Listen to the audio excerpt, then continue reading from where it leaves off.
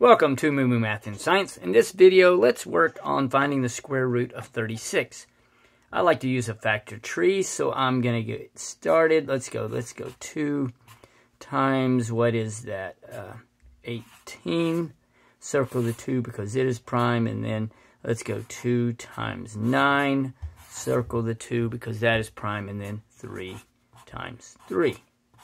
So now I will write all of these prime factors, I'll move this up, under the square root sign. So we have a 2, a 2, a 3, and a 3.